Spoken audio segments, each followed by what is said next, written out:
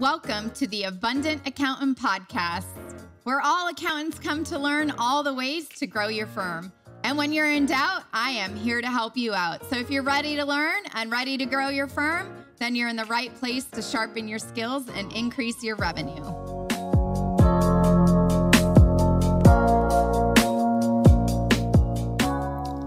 Welcome to the Abundant Accountant Podcast. I'm your host, Michelle Weinstein, and I take you behind the scenes of all those fun related sales activities that can help you grow your firm.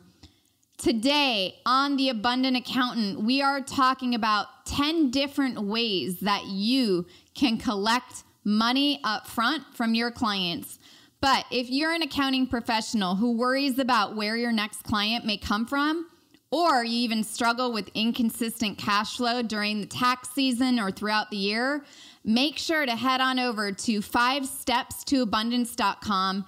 Get my five step process that accountants have used to go from waiting around for that busy time to really closing high level clients all year round who pay you the fees you deserve and who actually appreciate the work that you do for them. So, once again, head on over to 5 steps to abundance.com, the number five, or you can type in F I V E. And before I dive into today's episode, I would love to give a warm appreciation to our reviewer of the week. And our reviewer of the week is Dakota Taxman. He says, The how of tax planning. Michelle, great reminder that the how of tax planning is irrelevant until the client engages. And that's true. And today I talk a little bit about that in our episode. But I believe that the how is only for clients who are paying you. The how is your knowledge. The how is your inventory of your head and all the schooling and all the CPEs that you've done. And only clients who pay, which means that they've engaged with you, are the clients that deserve to know the how. When we give out a little tip, when we help a client because we feel bad and you know something that they don't know, we give away our free advice, and that doesn't help you or the client. So, again, remember the how is for paying clients who engage with you. And until that, how you're going to help them is truly irrelevant. So, I want to get to know more of you who listen in each and every week. And I would love it if you would leave a written review today. And I will make sure to take that review and highlight it right here on a future episode on the Abundant Accountant podcast. Now, let's dive into today's show. So, the 10 ways accountants get paid up front and on time. And this is a really, really, really important topic because who wants to have accounts receivables? Not me, not you. And I know that there's so many accountants that I've worked with time and time again where they have receivables of 30,000, 40, 50,000 because we send out invoices and then wait for our clients to pay.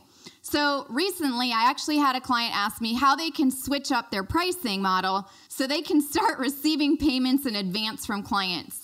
They were not happy about waiting for payments. They weren't happy about being a bill collector at the end or having to chase clients down. So, if any of you felt that way, then this episode is for you to maybe give you an idea or two that you can implement starting maybe next week or right now, today, because why wait? There's no better time than the present. So, I'm gonna give you 10 different ways and ideas that you can start getting paid in advance, get paid up front so you don't have any accounts receivable. You have clients that are paying you before you even do the work. So you're probably a lot happier when you start doing the work. And you won't want to miss out on like this business changing episode. A lot of accountants I've worked with feel less stressed. They can give more time to their clients. They don't have to worry about, oh gosh, what are they going to say when they get the bill? All of that is now out the door. So you can be front and center in helping and serving your clients. So let's learn how to charge up front, like right now. That's going to be fair and easy for the both of you, you and your client, and ultimately be able to help serve them better.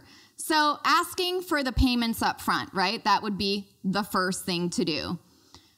However, before you ask for payment up front, it's really important to understand We've talked about this before here on the Abundant Accountant podcast knowing your value and knowing your worth. Because being able to ask for money up front really has to solidify in yourself that you know that value, you know that worth that's inside of you.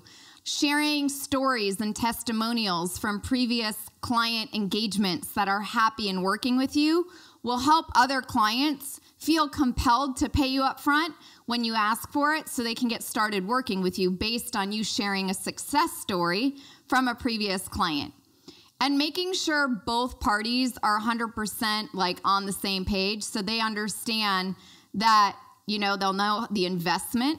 So if someone asks you how much do you how much do you cost? Well i always like to explain it. It's not actually a cost.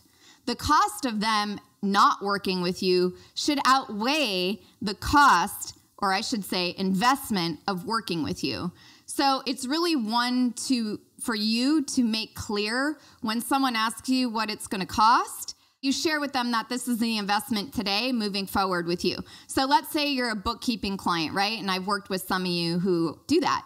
And you're charging anywhere from about 3 to 5,000 a month.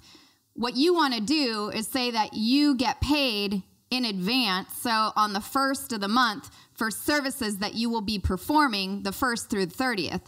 So if someone's payment doesn't go through, you can tackle it now before you get frustrated in the future, right? Because we don't want to do that ever.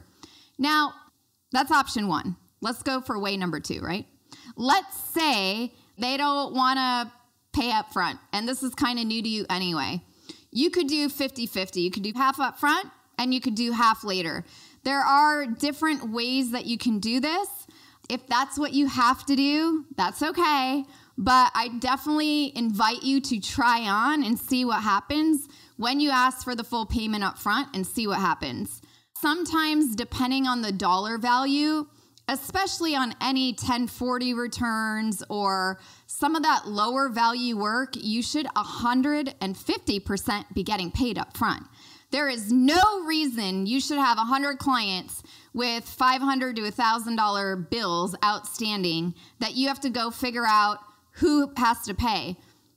Personally, I don't deliver a service to anybody unless I'm paid in full. And I think that should be for anybody in business. It's our moral imperative to help and serve others, right? But why would we do that if you didn't get paid for that service in advance? I'm not a nonprofit. You're not a nonprofit. Most of you are trying to increase your revenue, increase your bottom line.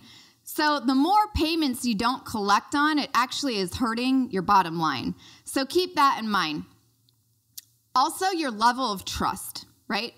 If you have a deeper, greater level of trust, so you've built a really good foundation, you've built really good rapport with them, the greater the trust, the more people will pay you up front. So keep that in mind too. Very, very important. When you get paid up front, just like a little bonus thought, I like bonus thoughts, right? It helps with your cash flow. You don't have to worry about how you're going to make your payroll, right? You might have a team of two to five people, or maybe it's just yourself. And from all the profit first professionals I've worked with, you've got to pay yourself first. So this helps you with that too. Another option not one I always recommend, but I'm giving you different ideas, right? Obviously, what I encourage each of you to do is try on asking for 100% payment up front and just see how many times that happens. Then you have your backup plans in case that doesn't work out. But you could offer 210 net 30. And you might be wondering, well, Michelle, what the heck does that mean? I did a lot of net 30, 60, 90 day terms with my vendors when I had my last company. But again, I was purchasing inventory and I had other products, right? So I would have to purchase inventory in advance, sit on that money. I wouldn't probably collect money from that customer, you know, up to like 90 days later. So everyone likes a little, you know, I don't like this word, discount, but maybe there's a reduction in cost if they pay the invoice really soon, right? So basically, what 210 net 30 means, and I'm just giving you an example, but I would even say, and some of you might even say, hey, you know what? I'll give you 3 3% off your invoice if you do an ACH because then you don't have the credit card fees. I usually just use credit card fees as a cost of doing business. I don't care if my credit card fees were 3, 5 or 7% because I know that the profitability in my services can handle that. That's just the cost of doing business. But you could give 2% off an invoice if they pay within 10 days. And this is if you're a little scared asking for it up front, because I know it can be a little intimidating at times, especially if you're not used to it. So we take baby steps, right? This is just a third option of something you can try on and expect a full payment within 30 days. Now, my only bonus tip and thought for this one is if you're going to wait 30 days to collect, the work that you deliver does not get delivered to the client until you get paid in advance. So if they want their work on the 25th day, they will have to pay you in full prior to you delivering the work. So keep that in mind that you have to keep that commitment to yourself with the work before you deliver it to the client. Tip number four, or way number four, whatever you want to call it, right? These are the 10 ways to get paid in advance. This is the fourth one. I just got back from Spanish class, so cuatro. Request the payment before the delivery of the service. So let's say you're doing um, a tax litigation case, because I had a client that just did one. And the client wanted to do the 50 50. Hey, I'll pay you 50% right now to get started. And then what you require is the other 50% upon delivery.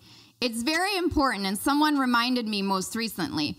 Well, Michelle, the people that get your advice, your work, are clients, and clients pay.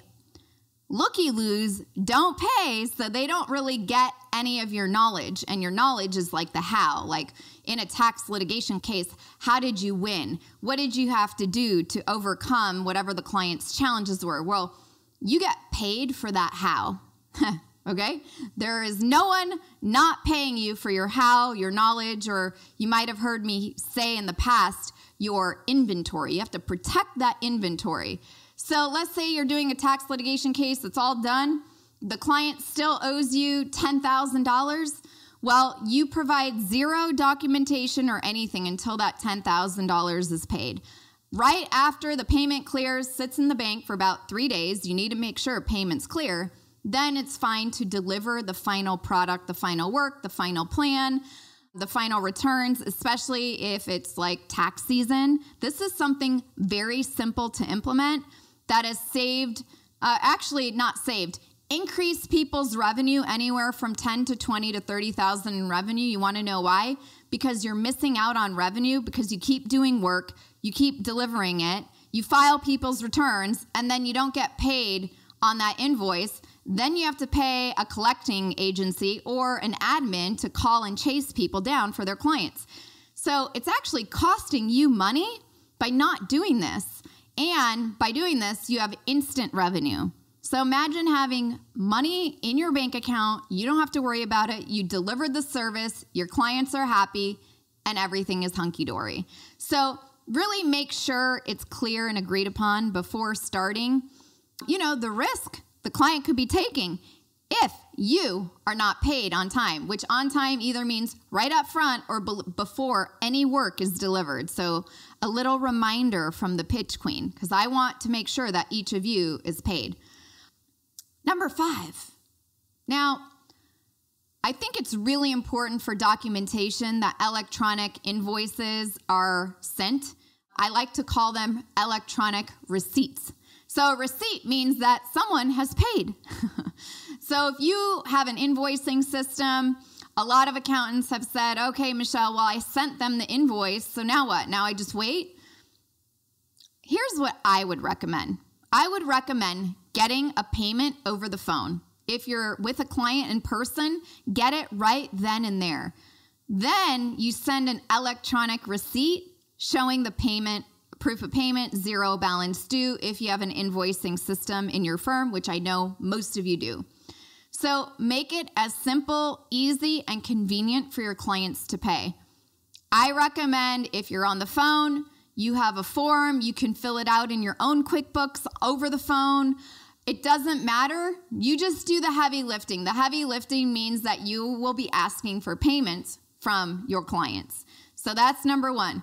Number two, if you're in an in person meeting, you should have a form that they fill out right then and there. I know some of you have ACH forms, some of you might have a credit card authorization form. Whatever it is, fill it out, enter in the amount, charge them right then and there. Here's what this helps with because you might be wondering, well, Michelle, that sounds really pushy. Okay, well, I do this all the time along with a lot of other people. But there's actually a benefit to it because what if their form of payment doesn't go through? Now you have back and forth email exchanges, phone calls. You're probably dealing with really busy people. It's not conducive to anybody's time. So, what I recommend, do it over the phone, especially if you're charging anywhere from 2500 to 5000 consistently or the bigger numbers. The bigger the number, the credit cards might not go through. They might have daily limits. So, that's another trick. If someone's payment doesn't go through, have them call their bank and up their limit for that day. It happens all the time. And if you're taking a check, you can actually run a check payment through most of your billing systems. If you're on QuickBooks or whatever, run the payment right then and there with your client in front of you or on the phone to ensure that you get paid. So then you can send them an electronic copy of their receipt, aka invoice. Tip number six is make sure you have a lot of different payment options. I would make sure that people could do bank transfers. I would make sure that people could do debit and credit cards. And yes, take Amex. It might be the most expensive, but it doesn't matter. People, if you want to attract higher value clients, better business owner type clients, you name it, whatever it is, you want to take every form of credit card. Let them collect their points on Amex so they can go fly business class. If you're working with high level business owners, this is something that's the norm. I don't care if the percent fee to you is 3 to 5%. Make sure to have your fees cover that, okay? So remember, pricing is another topic we've discussed here on the Abundant Accountant podcast, which is very important topic. Another one that you should probably take as a form of payment is PayPal. PayPal is a great way to receive payments. It is a secure way. A lot of people use PayPal. If you do not have a PayPal business account set up, make sure to do that today or whenever you're listening to this.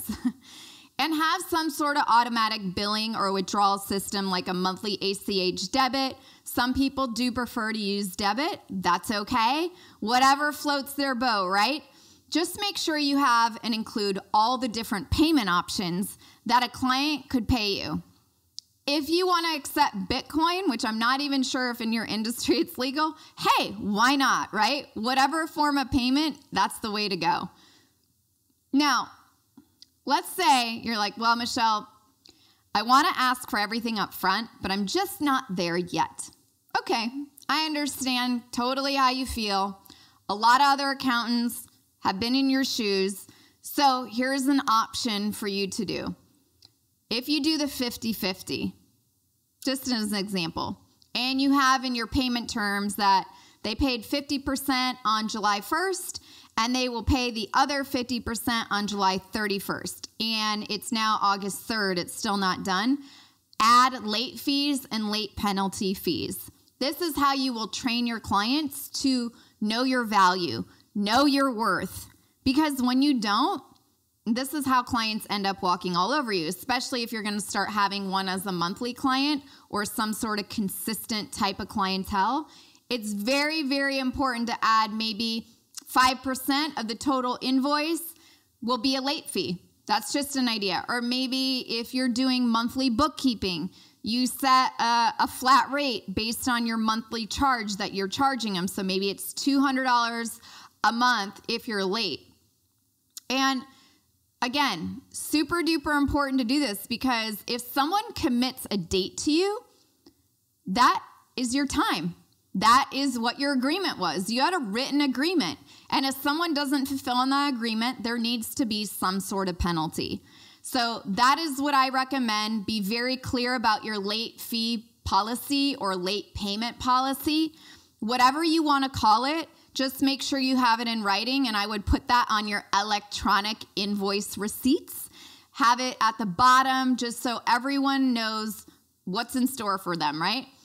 And this will incentivize the lazy clients to actually pay you on time.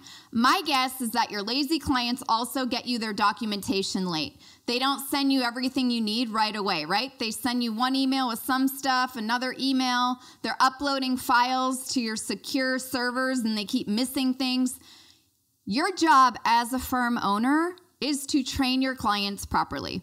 So, no better time than the present, right? All right. Number eight, way number eight, tip number eight send regular reminders. So, this does not apply if you get paid 100% in full. Let's say we're on the 50 50 example.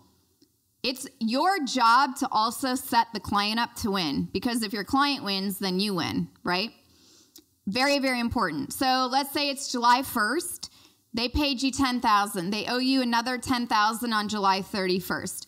You don't want to implement your late fee penalty or policy. So let's do the courteous thing maybe five days before, just a reminder, the balance due of 10,000 is required. If not, remind them of the late fee penalty. An additional 5% will be added on the invoice. Lastly, we as a firm will not deliver the work until we are 100% paid. This is normal in other industries too. It's if you're saying, Michelle, gosh, this sounds really strict. It's not you have to know your value. You have to know your worth. And these boundaries and setup for yourself and your firm is what starts this.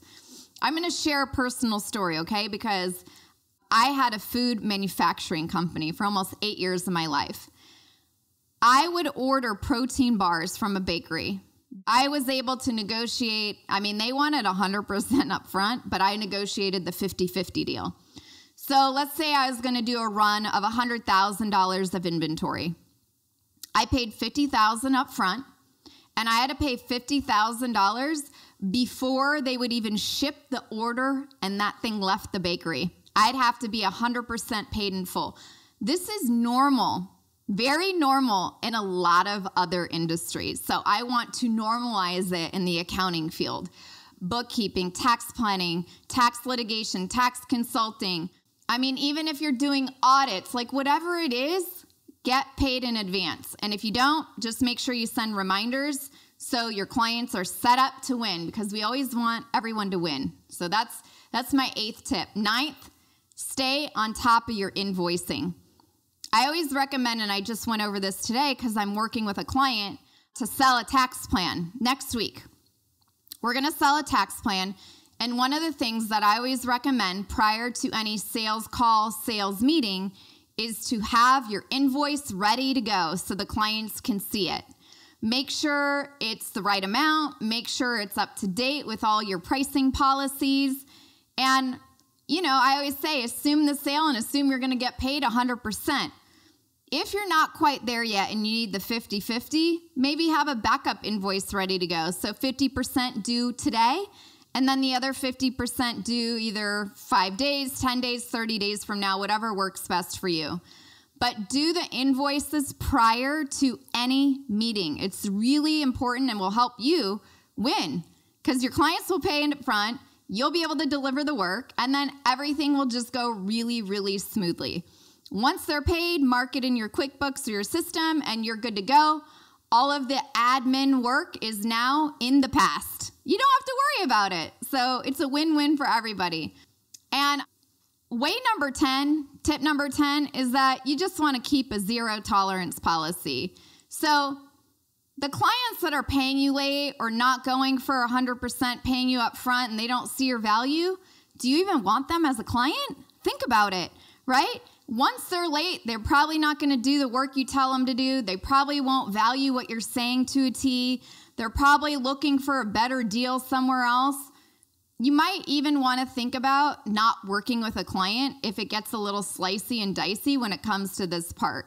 So make sure to know your zero tolerance policy. It's very crucial because this is what makes you know your value, know your worth, and the clients will see it on the other side.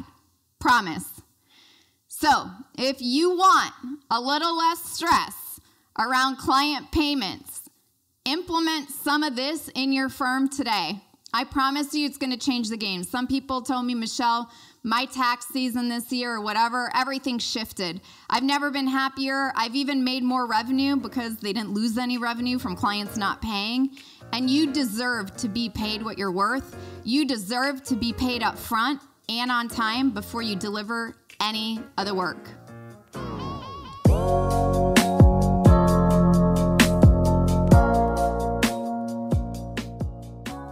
Thank you all so much for joining me here on the Abundant Accountant podcast, talking about the 10 ways and 10 different things you can do to really push forward and getting paid up front.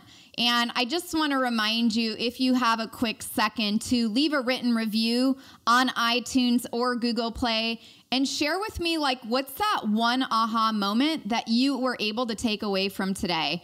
I would love to know. I read all the written reviews and it really does help other accounting professionals like yourself find this show and help me help them grow their firm. So please do leave a written review. It was an honor to have you here with me today. And again, if you want my five step process that accountants have used to, you know, really go away from waiting around from busy season to having consistent clients that pay them a high amount of fees and who actually appreciate you for doing that type of work for them, make sure to head on over to five steps to abundance.com. Get my free guide, totally free. Have an amazing day, and I'll see you in the next episode.